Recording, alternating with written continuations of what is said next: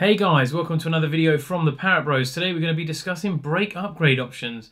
This is for the B8 platform, that's the A4, S4 and S5. Right, let's jump into it.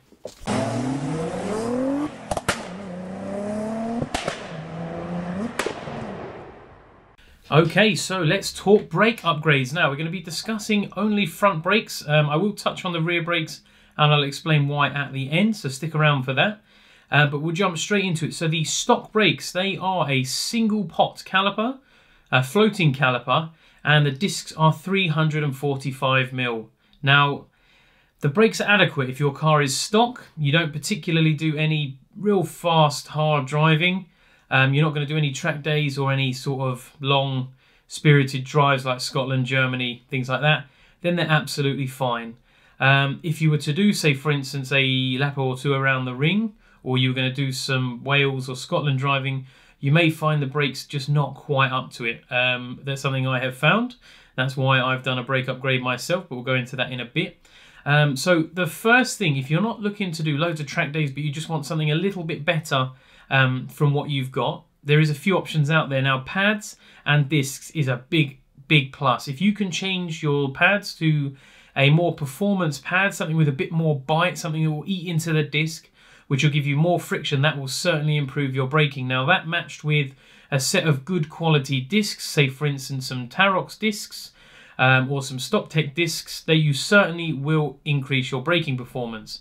It still won't make it amazing, um, but it will make it a lot better than it currently is. Also, combined with a brake fluid change, as the likelihood is your brake fluid probably hasn't been changed as often as it should be, or it's just not quite up to the job. If you get that swapped out, get your disc and pads changed um, for, say, for instance, some Ferodo DS2500s, some Carbone Lorraines or something similar, you'll notice a big difference in performance. Now, I'll put some links in the description and some details of some pads that I've found that people have recommended for the stock replacement. Um, I'll put that in the comments below. And also I'll link up to the details up in this corner, a playlist of all the videos that we have done for the B8 S4 S5 platform, including anti-roll bar upgrades, brake upgrades, and plenty more. So be sure to check that out. Now, let's move on to the next upgrade, which is actually changing the calipers. Now, um, this is an upgrade I've done myself, and it is a four-pot Brembo caliper. Um, it came off of a Q5 or a Porsche Macan. Um, the ones I've got on mine are brand new from Porsche over the counter. Um, the calipers cost me just shy of £600, which for brand new calipers, um, I mean, if you were to buy second-hand calipers, you never know if they're going to need rebuilding. So from that perspective, um, it's quite good. Um, they are a four-pot individual piston caliper.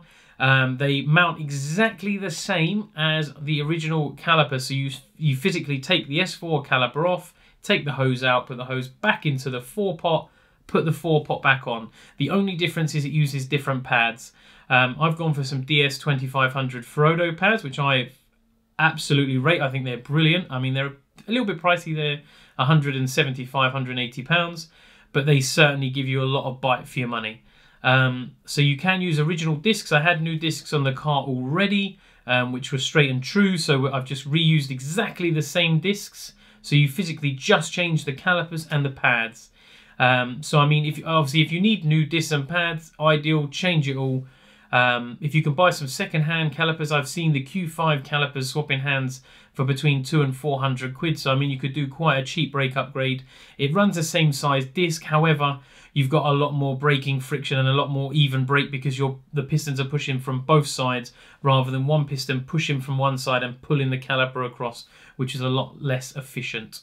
So that is the first upgrade. That's the four pot, um, which runs exactly the same size, three, four, five mil disc. Um, and that is anything from two to 300 pounds up to 800 pounds if you're going for brand new calipers with really good quality pads. Next on the list is something uh, someone sent me some details from on Instagram, and this is actually a 3 litre TFSI A7 brake upgrade. Now, I've not seen this before. It looks very similar to the SQ5, which we'll cover in a minute. Um, but it's a 356mm disc running a two-pot caliper. So you get an extra, what's that, 11mm brake disc extension, so the disc is 11 mil long, uh, taller, and you also run a two-pot caliper. Now, I'll flag some pictures up for you now. This is what he sent me. Um, he said that it's very good.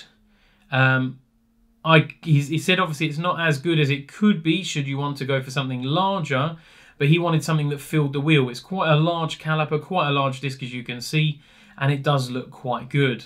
Um, now, I did some searching myself when I got sent this information last week, um, so that's April 2020, and I only found one pair of calipers which were sold separately, and they were about £300 for the pair by the time you bought them both. And then obviously you can just buy some A7 discs and some pads. So it's not massively expensive. Is it worth the money? If you can get them cheap enough, it may well be. And if you're looking for something a bit bigger, um, then it's not a bad idea. Um, what size wheels it will fit under, I don't know. You may need to go for the 19s, um, as I'm sure the A7s don't run 18s as stock, but that's something you'll have to look into. But I'll put the part numbers down for what I found. Um, I'll pop that in the description below, same as all the other calipers. I'll put all the part numbers I know and all the links available for where I've found some of the bits I'm discussing, um, just so you've got that information. Right, so moving on, the SQ5 calipers, like I mentioned earlier. Now, these calipers are two-pot, same as the A7s, but, and there's a big but, they're a 380mm disc, so they are huge. You're getting an extra 35mm disc circumference. Obviously, the pads will be slightly bigger, so better friction um, coverage. But the only thing I can find when searching this information online is you will need bigger wheels, because obviously 380mm is a big disc. Um, so you're going to need possibly 20s. Um, so do bear that in mind. Um, you may need 20 inch wheels. Not a problem if you've got big wheels and you want some big calipers and big discs um, to fill the back in. But yeah, the SQ5 two piston caliper, 380mm discs. You'll get a lot more braking um, material on the this, you'll get a lot more disc uh, pad on the disc so there will be an upgrade and they'll look massive. So if you've got big wheels, that might be a good option for you to fill the arch. Now, I found the calipers used for three to four hundred pounds um, in a good condition. They came with discs, but you don't know the condition of the discs and pads. Now looking, um, the discs stock are between four and five hundred pounds. Obviously, they're quite big, so they're going to cost quite a bit of money. So do bear that in mind. Um, all fitted, you're looking at about a thousand pound for the discs and pads. That's not the cheapest, but if you've got, like I said, if you've got 20 inch wheels and you want to fill them, they are big calipers. I'll flash some pictures up of some what they look like on the SQ5, just so you get an idea of what they look like. Um, but yeah, so that is another brake upgrade option. Now I looked at pads. Um, there's a few options available because the SQ5 isn't a massively popular um, in the aftermarket range. You may struggle to get good quality pads like DS2500s, etc. I managed to find yellow stuffs for 165 pounds, um, so not too bad. And obviously they're going to be a lot bigger, so you will have a lot more friction material, which means it will stop you better. So that is another option. And the last option I'll jump into now is the RS4 slash RS5 calipers. Now, these are a 8-pot caliper. They run a 365mm disc, so that's an extra 20mm of disc and obviously eight parts. So you've got four pistons on each side pushing inwards. So the, the braking friction will be quadruple, maybe even more of what the original one is. So they are a massive upgrade. Now these, believe it or not, are not that expensive. It, you have to sit on eBay, um, unless you can obviously find someone from a breaker or something like that, because they're not massively common. But if you go onto eBay and go into sold, there has been some front calipers sell for five, six, seven hundred pounds. So they're not a bad price. However, and I do stress this, discs are not cheap because they're RS4, so they come with RS tax. Um, non-branded normal discs, not the wavy ones, just normal circular discs, will set you back about £400. If you want the wavy ones, like on the RS4, you are looking at between £800 and £1,000 for a pair of discs, so do bear that in mind. If you can pay um, a little bit more and get discs that are reasonably good, and pads and with the calipers, then that might be your best option because that will certainly save you a few hundred quid. But if you're looking for a good brake upgrade, if you're stage two, you're nearly touching 500 horsepower, then this may be the upgrade for you. Um, plus, they look the absolute nuts. They are massive. Um, big 8 pot, there's what they should have had if you're going to sort of go for the big power. Because, I mean, what a stock RS4 is 440 brake Um, if you get a good stage two, stage two, on a B8 S4, you could be touching 480 brakes, so you're going to need some braking. Um, so this is quite a popular option. So that is the RS4 or the RS5 front calipers. They are an 8 pot. They run a 365mm disc. If you can find a set second hand with good quality discs, pads uh, you can buy, that's not a problem. But if you can find some good discs that look like they've only just been changed, jump on it because that will save you a fortune. If not, um, aftermarket discs, sort of the three to four hundred pound mark, and the genuine wavy ones on eBay, so maybe more from um, Audi, etc. Um, they are sort of eight to 100, 800 to a thousand pounds. So do bear that in mind when you're looking at brake upgrades. Now, um, I hope this information has been helpful to you. I'll put, like I said, all the details in the description below. Now, let's talk rear brakes. Now, doing some research, because obviously I've got the four pot Brembo front brakes. I was thinking, well, cool, what can I do to the rear brakes now? Looking into the RS4 ones, the caliper's the same. So the brakes on the rear are actually good enough. Um, the other options you have available to you, and I did find a couple. Let me just have a look what I've written down. Now, you can use the RS style wavy discs on the rear. Um, they do them, I class it as a floating um, disc because they have those little aluminium or little metal dowels between the actual uh, rotor and the center bell. So they're, not, they're actually one piece, but they look two piece. And obviously they're better for heat distribution.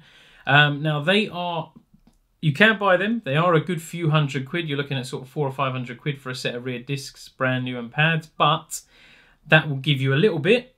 That will certainly increase the uh, the rear braking and it will look slightly better.